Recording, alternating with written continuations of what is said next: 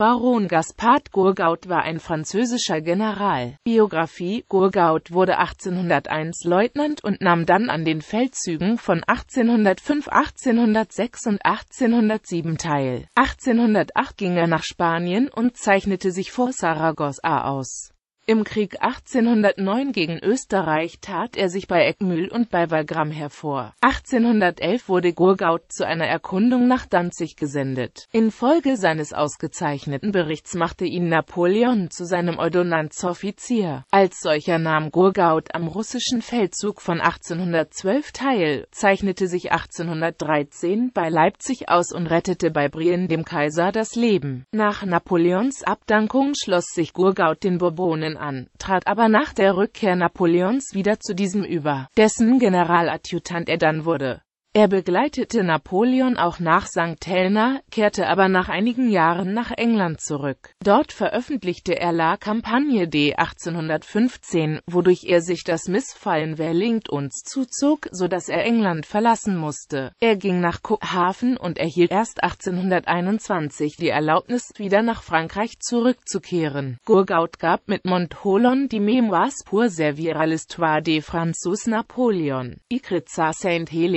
La Dictée de l'Empereur heraus. 1830 trat Gourgaud wieder in den aktiven Dienst und wurde Kommandant der Artillerie von Paris. 1832 machte ihn Louis Philippe zu seinem Adjutanten. 1835 wurde Gourgaud zum Generalleutnant befördert. 1840 war er Mitglied der Kommission, die Napoleons Überreste von St. Helena nach Frankreich zurückbrachte. Im folgenden Jahr wurde er in die Pestkammer aufgenommen. Nach der Fe Februarrevolution 1848 wurde Gourgaud in den Ruhestand versetzt und 1849 in die gesetzgebende Versammlung gewählt. Gaspard Gourgaud starb am 25. Juli 1852 in Paris. Er ist auf dem Friedhof Père Lachaise begraben